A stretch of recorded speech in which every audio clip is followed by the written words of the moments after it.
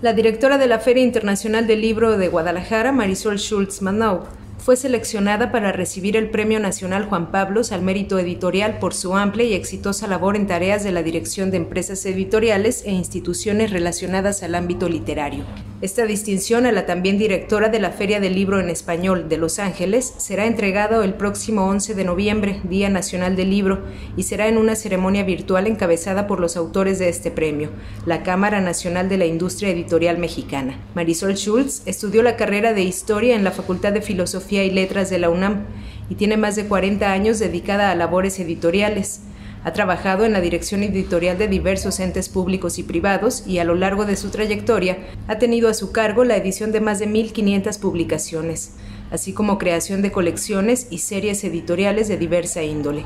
Durante su paso por casas editoriales privadas, ha tenido en encomienda la edición de consagrados escritores iberoamericanos como Elena Poniatowska, Carlos Fuentes, Carmen Boyosa,